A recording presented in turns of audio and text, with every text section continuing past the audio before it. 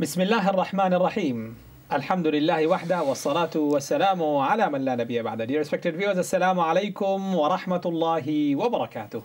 Welcome to another brand new episode of the program entitled Towards the Origin, broadcasted live on Channel S, watched on Sky 734. And you can also watch this program live on our Facebook page, and inshallah, on the following day, which is tomorrow, you'll watch the repeat of this program at 11 o'clock in the morning, and later on, you'll also find us on our YouTube channel. Our tonight's discussion is on the topic purification of soul.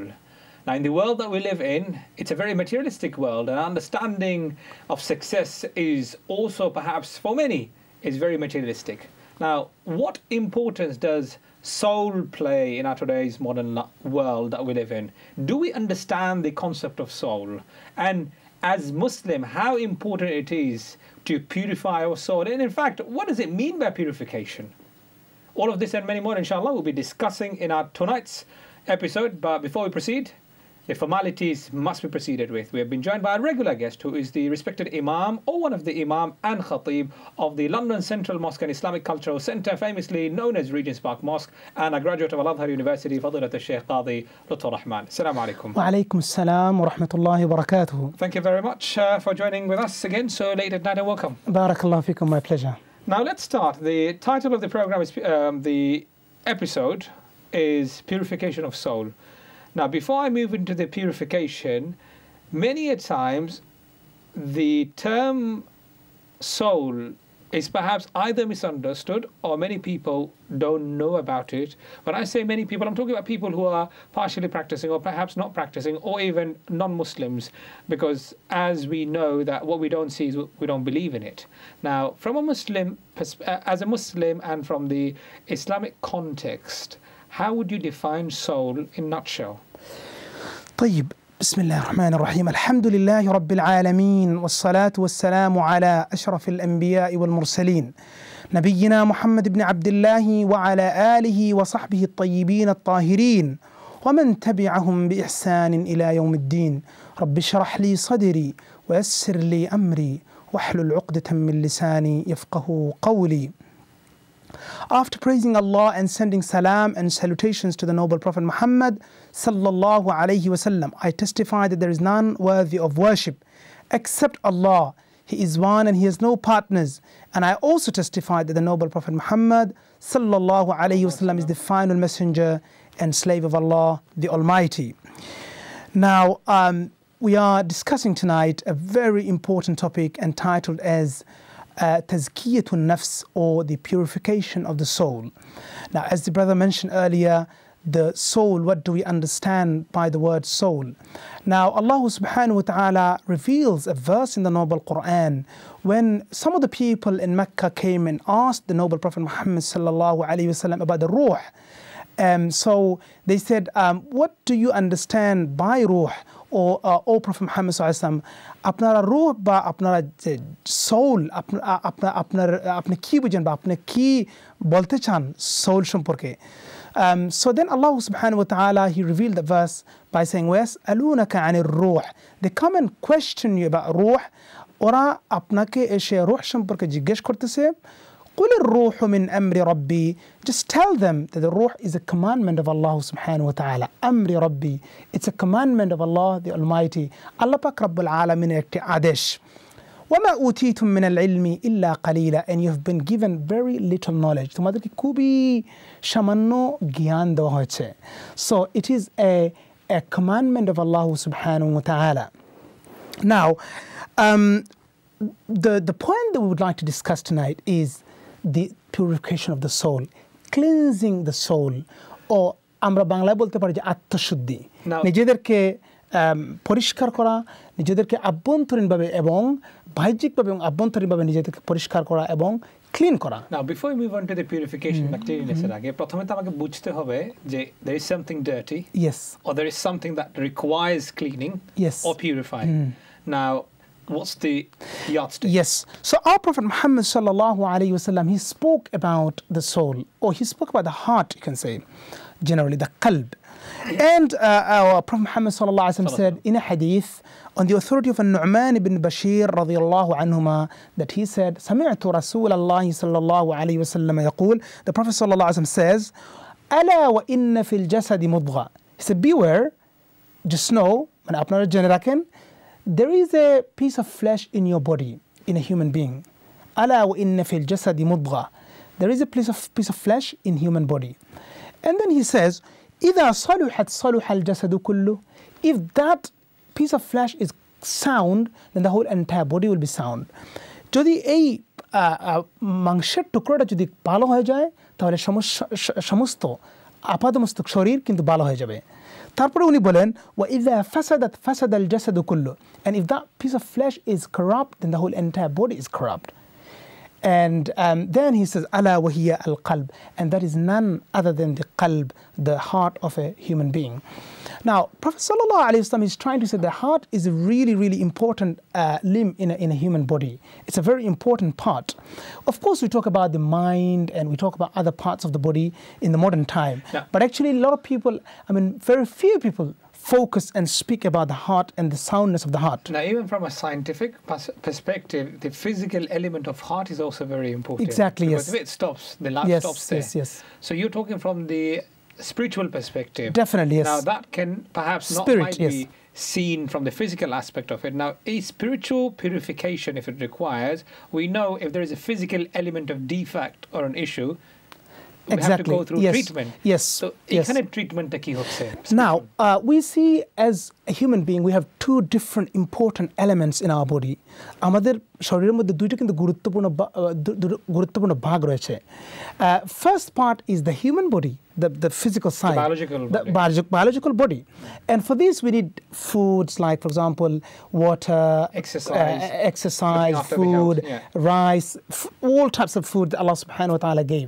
And this is the physical aspect. And to nourish, we need the food that Allah subhanahu wa ta'ala gives us. And don't forget, the food of the body comes from earth. মানে আমাদের শরীরের যে খানাদানা এগুলো কিন্তু জমিন থেকে আসতেছে। whatever we look at the food the, the, the, the food vegetations fruits and plant anything that we or more, the, whatever we take for our body is coming from earth Now that's true, but ha- we also have to mention a point here যে যখন যখ- যখনই আমরা কোনো ধরনের খাবার বা কোনো ধরনের কিছু খাই we have to make sure that it's not in excess. yeah of course now that's But that's, another point yes. because we always indulge have to- i- everything in excess. Yes, we have to look after our health, definitely. But at the same time, we in human beings we have another side, an aspect, and that is called the spirit or spiritual aspect. And at this time of the modern world, very few people focus on the spiritual side. And and the scholars of Islam they say the food of the spiritual side come from from, from the heaven, sama. Okay? So the food of the body comes from earth because the body has been made by the soil. আল্লাহ সুবহান আমাদেরকে মাটি দিয়ে বানাইছেন এবং সৃষ্টি করেছেন এবং এই জন্য আমাদের খানাদানা কিন্তু সব কিছু আসতেছে মাটি থেকে কিন্তু আমাদের যে রোহ যেটা আসছে, এটা কিন্তু আল্লাহর পক্ষ- আল্লাহর পক্ষ থেকে আসতেছে, আসছে। এবং সেটা কিন্তু আসমান থেকে এসছে, আসছে। এবং এই জন্য যে আমাদের যে রোহের যে খাবার, এটাও কিন্তু আসমান থেকে আসতেছে। So it's coming from the heaven and that's the revelation, al-Quran al-Kareem, awamir of Allah subhanahu wa ta'ala, Allah's commandment salah. So our connection the Almighty is the food for the soul. And our connection, of course, uh, the nourishment of the physical side is what comes from earth, like wh- wh- whatever we eat, food, drinks, and water, and whatever come from earth.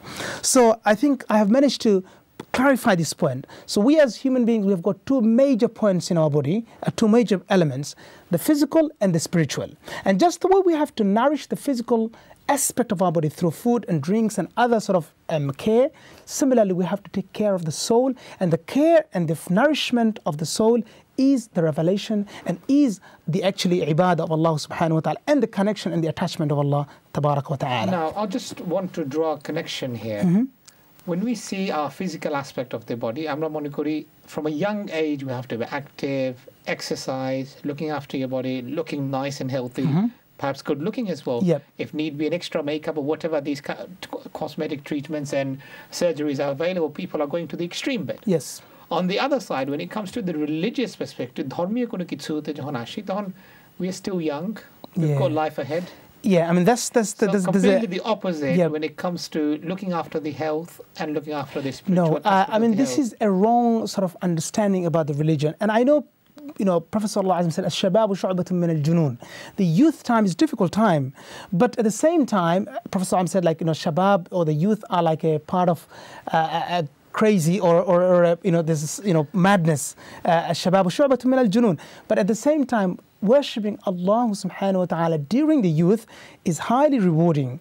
And this is the reason why it says, وَشَابٌ نَشَأَ فِي عِبَادَةِ اللَّهِ One of the groups of people who will be given shelter under the shade on Yawm al-Qiyamah is the youth or the young or the people uh, who worship Allah during the youth. নাও আমরা শুনেছি বা আপনি নিশ্চয়ই ইমাম হিসেবে আপনি বহুবার শুনেছেন যে বাবা মা বলেন আমার বাচ্চা এখনো ছোট আছে সে বড় হয়ে নামাজ পড়বে না বড় হয়ে অবশ্যই কোরআন this is শিখবে। this is we- আমরা Now, আমরা when it কিন্তু অনেক comes শুনে to থাকি the education Then we don't say. life into our children to ensure that they are successful You're But right, why yes. there is an element of negligence Um, I- people really, and as Prophet ﷺ said, like, you know, people are deceived uh, by uh, some of the things in this world, and one of them is time. They think, you know, um, you know, that there's enough time, you know, we can do later on. There's still different stages of life, but forgetting the fact that, you know, we have no actually any guarantee of our life. So, uh, a, Muslim, a believer, must be prepared to meet Allah subhanahu wa ta'ala at every point of his life. So we need to remove that misunderstanding and misconception.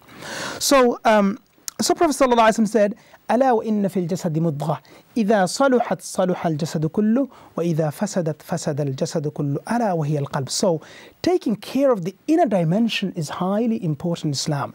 Taking care of the অর্থাৎ আমাদের যে আভ্যন্তরীণ যে দিকগুলো আছে এই দিকগুলো কিন্তু আমরা লুক আফটার করতে হবে আমাদেরকে টেক কেয়ার করতে হবে আনা হয় কিন্তু আমরা we will be failing. There will be an imbalance, right? Some people you see like they've got everything in this life.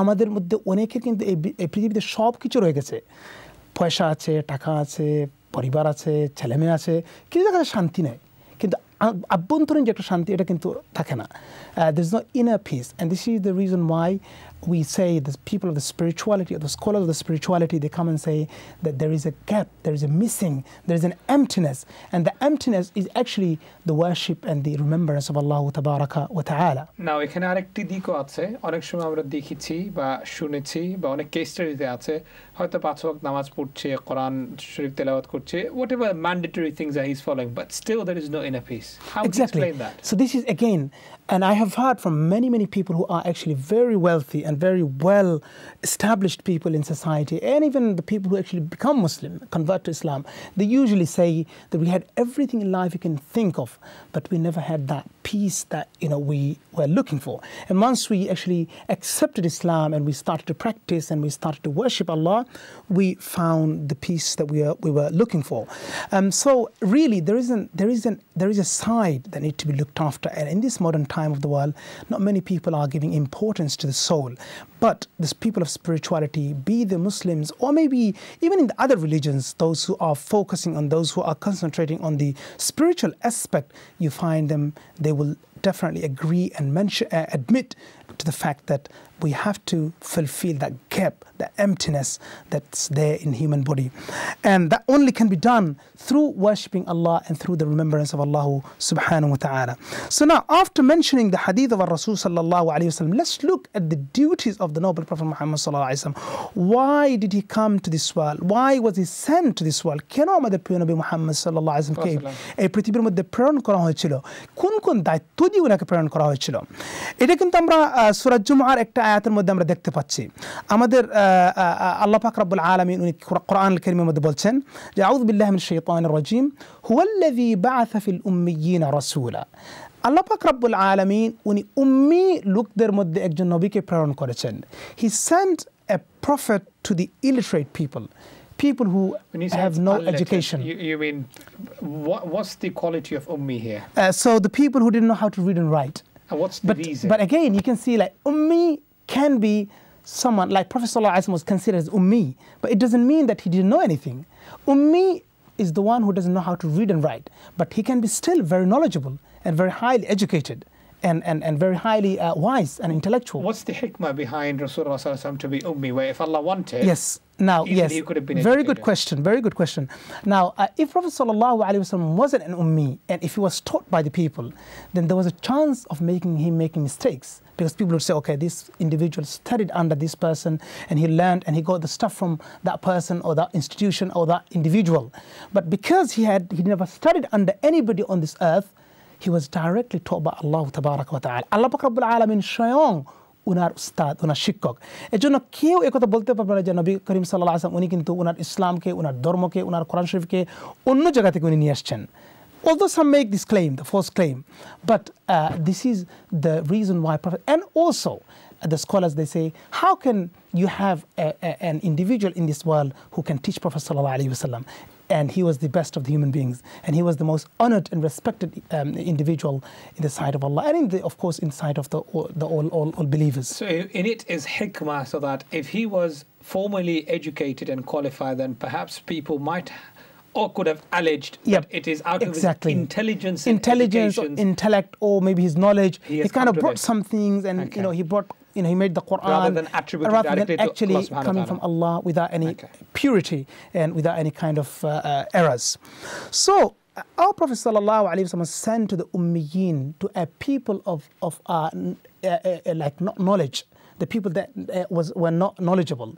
So, whoever, not so knowledgeable, but illiterate people who didn't know how to read and write. A messenger was sent down to them. What was the responsibility of that messenger? Allah says, Allah subhanahu wa ta'ala says, Yatlu alayhim ayatihi. The first thing he does is that he reads Quran to them. Uni Allah pak Rabbul Alamin Quran pakar tilawat kore den.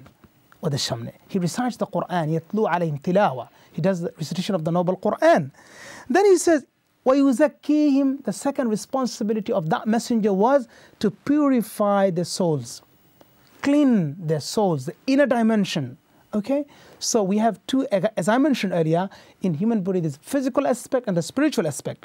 নব prophet Mohammad সাল্লাম আমাদের মানে আমাদের প্রিয় নবী মোহাম্মদ সাল্লাম উনি প্রেরিত হয়েছিলেন কয়েকটি দায়িত্ব দিই। এর মধ্যে একটি ছিল তিলাওত করা এবং দ্বিতীয় দায়িত্ব যেটা ছিল সেটা হচ্ছে মানে আত্মশুদ্ধি করা।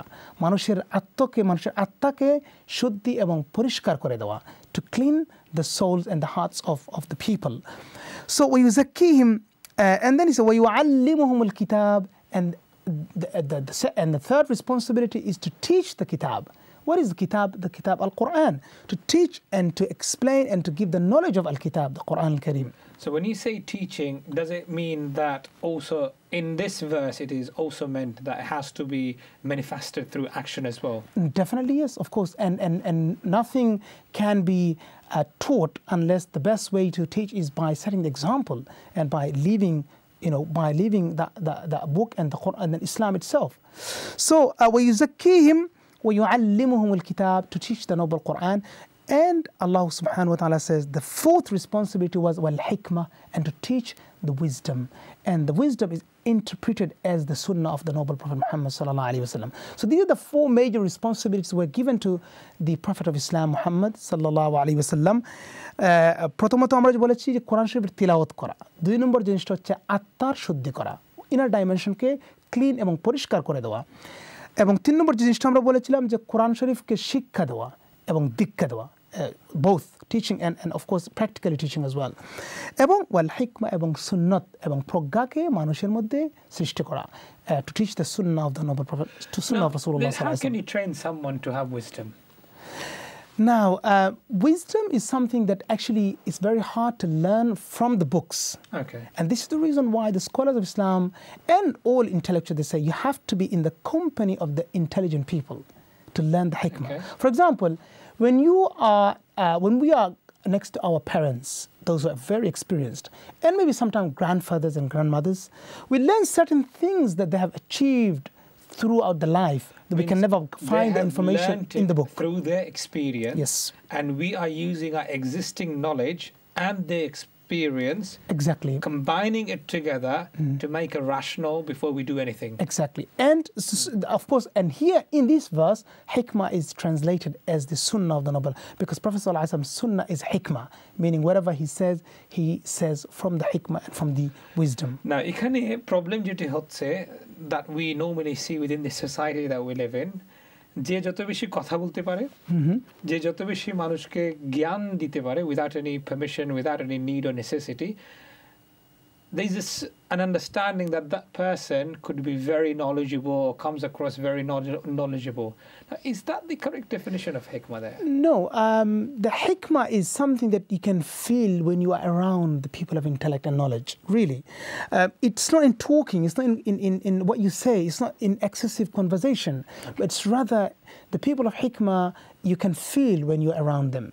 And um, this is the reason why the scholars of Islam, and last week I mentioned Sheikh Abdul Fattah Abu also says that hikmah cannot be taught in the books. You cannot learn. I mean, of course, we can see the sayings, things we can't sayings, learn and yeah, from the books. Yes, we cannot learn exactly. And you need to. We have to be under the shade of the the, the people of knowledge, and that's really that's a must. So that means with experience and constant education and Yes. seeking knowledge will perhaps then enhance one's ability to understand Achieve. and deal and Yes. achieve with wisdom. Yes, yes.